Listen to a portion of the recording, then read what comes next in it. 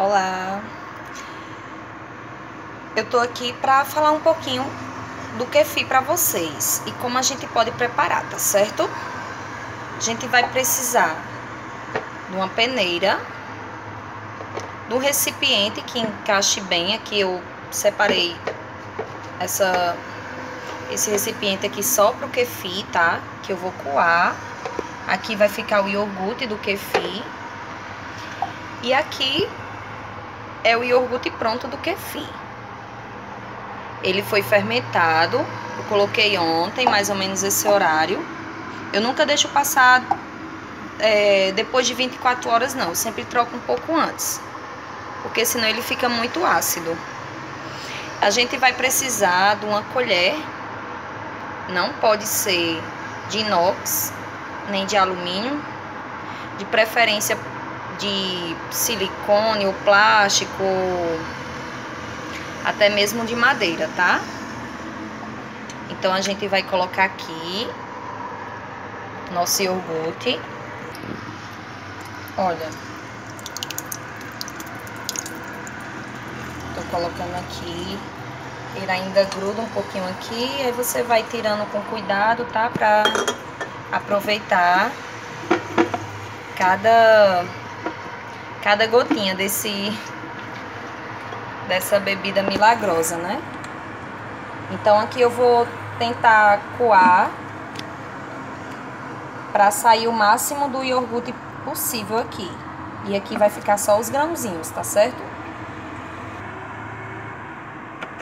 Olha, já bati bastante. No início você vai pegando prática é complicado, mas aí com o tempo você vai se adaptando, tá certo? Esse aqui são os grãos, são lactobacilos vivos, né? O kefir ele é riquíssimo. Para quem não conhece, ele nutricionalmente é muito rico, riquíssimo mesmo, possui vários probióticos. Tem gente que cultiva com leite de coco, eu nunca cultivei não, com leite de coco não. O que se sabe é que as pessoas altamente intolerantes à lactose podem consumir sem reação. E aqui em casa a gente é, tem experiência boas com kefir, apesar do marido ter intolerância à lactose, ele consome. Então tá aqui, meninas, ó. Esse aqui são os grãos e esse aqui é o iogurte do kefir. Esse processo de fermentação, o líquido do kefir, ele fica com bastante probiótico. São mais de 30 a 40 tipos de lactobacilos e bactérias diferentes. E aí essas bactérias elas contêm muitas vitaminas, minerais, aminoácidos, enzimas, cálcio, fósforo, são enormes assim a quantidade de nutrientes. E vocês podem estar pesquisando no Google, tem muitos estudos científicos que não foi ninguém que inventou não, é comprovados os benefícios, né? Benefícios comprovados que auxiliam na, na saúde, na imunidade. E aí você tem que ter cuidado com esses grãozinhos, porque eles são seres vivos, né? Aqui em casa eu até converso com os bichinhos de vez em quando, vejo, com, vejo como é que eles estão, ó. converso com eles. Eles são seres vivos, você não pode passar uma colher aqui de inox com força, ficar tentando ficar mexendo, que os bichinhos vão morrer. Você vai machucar eles. Também não se aconselha lavar, tá? Esse aqui eu já vou tirar uma parte para mim doar e vou deixar uma pequena quantidade em uma quantidade menor de leite. Eles vão demorar uns 20 dias para poder aumentar um pouco de tamanho. E assim você vai criando essa cultura de saúde. Você pode congelar, eu coloco em saquinhos de picolé e fico congelando para poder doar. Tá certo? Ó, esse aqui é o líquido, né? O iogurte. Iogurte normal, ele parece que você tá tomando um iogurte normal, assim. Ele não tem nenhuma... A diferença que tem do industrializado é que realmente esse aqui, ele é super saudável, né? Ele não tem conservante, não, não vai ter os conservantes que os iogurtes industrializados têm, né? De durar mais de um ano, por exemplo. E aqui você vai estar tá podendo oferecer um, um melhor alimento para sua família, né? Olha só o que, que eu fiz com esse iogurte. Eu comprei um coador de café, certo? Esse aqui é um coador de café. Eu coloquei o iogurte aqui.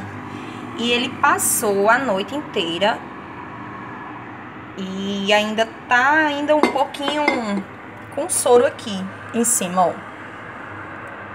Se você quiser que ele tire totalmente o soro, você deixa mais tempo, porque ele vai sair totalmente o soro. Vai ficar tipo um iogurte greco mesmo. Um creme chia aqui. Isso aqui você pode botar orégano, azeite e fazer tipo um requeijão mesmo. Ó o soro. Esse soro eu, eu tomo ele, eu coloco em receitas, pode substituir água em suco.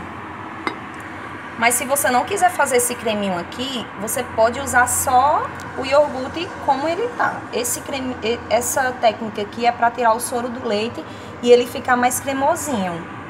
Tá certo? Pode bater com fruta e aí você vai incorporando nas suas receitas.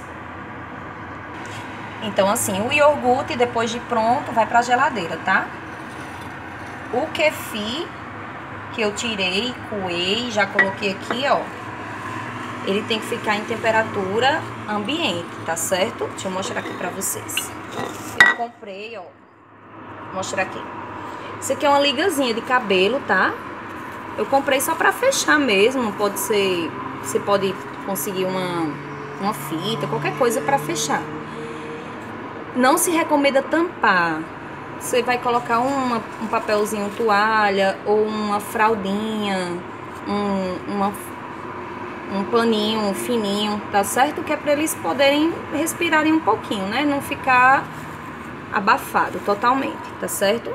Aí aqui eu, eu já coloquei aqui, coloquei em pequena quantidade, né? Porque eu diminuí, vou, vou fazer a doação.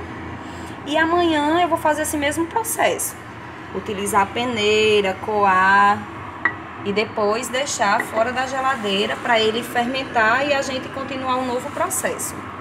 Tá certo? Então eu espero que vocês gostem. No Facebook tem muitos grupos de doação de kefir. Vale a pena vocês conhecerem e tá repassando, né, essa cultura de, de saúde mesmo. Olha como eles são lindos.